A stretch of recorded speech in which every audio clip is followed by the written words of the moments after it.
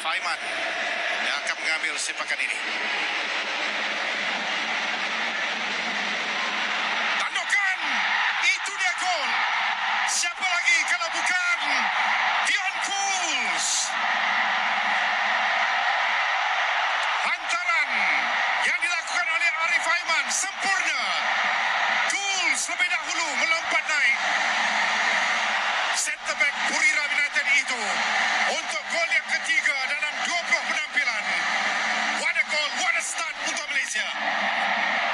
Sangat-sangat penting untuk Malaysia mendapatkan gol awal di sini. Dan selepas hantaran daripada sebelah kiri yang tidak menjadi daripada Faizal Halim kini daripada Arif Aiman cukup-cukup sempurna dan timing larian, timing lompatan daripada Dion Coles kesemuanya sempurna dan juga tandukan tersebut yang jauh daripada penjaga gol cukup di hujung gol tersebut dan tak ada peluang untuk penjaga gol yang uh, dengan reaksi yang pantas tetapi bola lebih pantas. Doesn't matter siapa